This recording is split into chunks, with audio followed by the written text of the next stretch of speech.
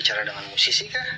Baik, Dengan selamat pagi dan selamat kalian? beraktivitas. Jadi untuk siapa video Ini ini? sementara saya berada ini akan di mempertajam jenis video. Lahan Kamu harus tahu dengan siapa kamu melihat bicara. Bukan hal tanaman-tanaman paling yang ada di dalam komunikasi di dalam video. ini.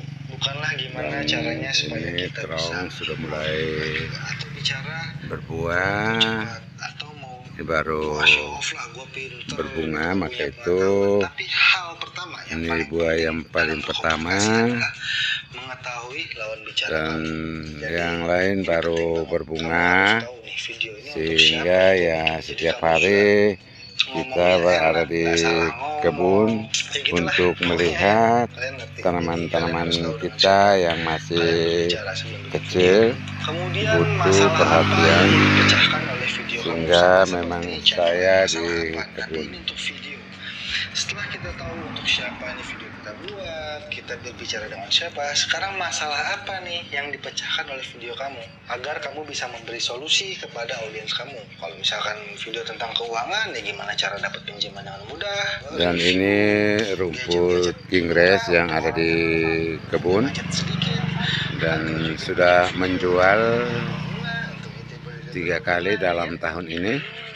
Bikin video kamu maka ini jelas sesuai title. ini siap solusi, untuk dijual dan kepada pilihan untuk audiens kamu dijamin subscriber kamu pasti nambah. Oke orang yang membutuhkan uh, yaitu engineer untuk channel, video. ternak mereka maka itu pasti banyak yang datang untuk membeli rumput kingres ini.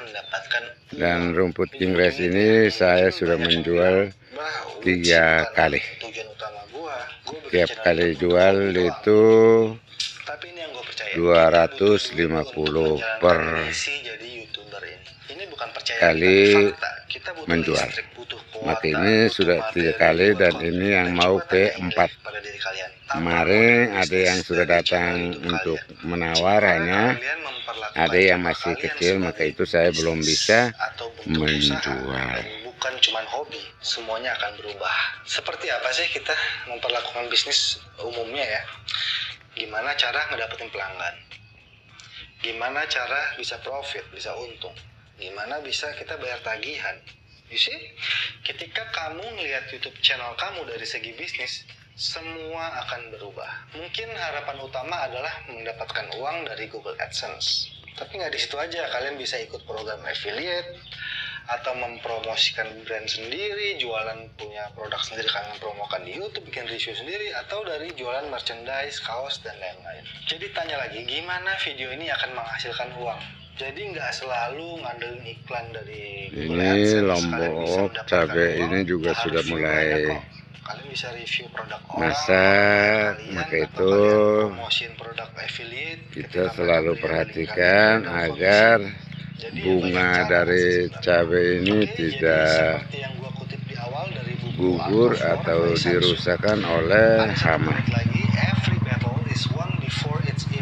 Ini masih ada yang muda hijau maka itu perlu ada perhatian-perhatian karena cabai ini juga punya harga. Bisa nggak sih kita sukses di YouTube? Bahkan kita belum mulai. Jadi kalian harus pikirkan bener matang-matang konsep dari channel kalian sebelum kalian mulai. Dan tips nomor 4 atau terakhir adalah Why? Kenapa? Ini penting banget. Sekarang kalau kalian pikir, banyak orang yang mulai dengan what atau apa, niche apa. Sekarang gue tanya, apa sih channel kamu? Gue mau bikin channel review gadget, banyak kompetisi. Gue mau bikin channel gaming, udah banyak yang bikin. Pertanyaan seperti apa sih yang kamu lakukan?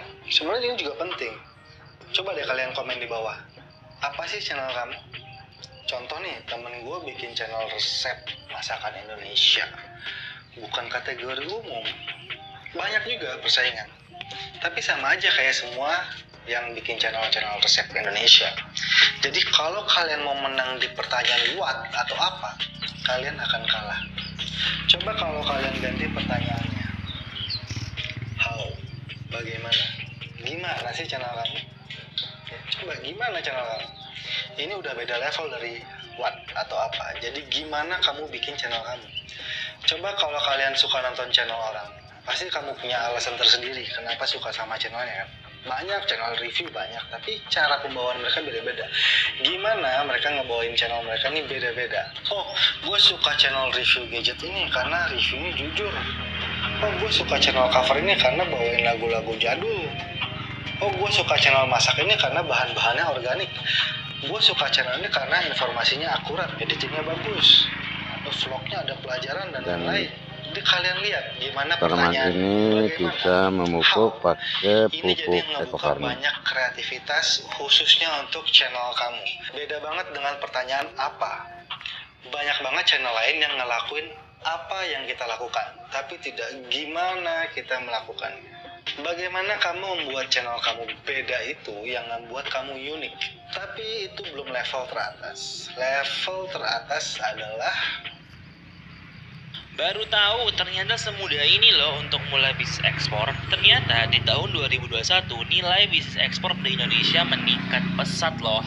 Tapi sayangnya masih banyak orang Indonesia yang nggak cekatan untuk ambil kesempatan emas ini. Banyak yang beralasan karena nggak punya modal, bingung nggak tahu mulai dari mana, atau bahkan pusing nggak tahu mau jual apa. Padahal bisnis ekspor sama halnya dengan bisnis pada umumnya. Dan syarat pertama melakukannya adalah mau belajar. Jadi, mulai sekarang Jangan mau cuma jadi penonton, harusnya kamu yang ambil langkah berani dan mulai belajar bisnis ekspor di Export Academy. Dengan mengikuti Export Academy, kamu akan dipandu oleh 14 mentor ahli yang sudah berpengalaman dalam bisnis ekspor untuk meraup keuntungan yang besar. Nggak cuma itu, kamu juga akan dapat 67 materi video pembelajaran gratis konsultasi seharga 5 juta rupiah dan tentunya program misi dagang di berbagai negara. Tunggu apa lagi? Ambil kesempatan emas ini sekarang dan jadilah eksportir sukses bersama Export Academy.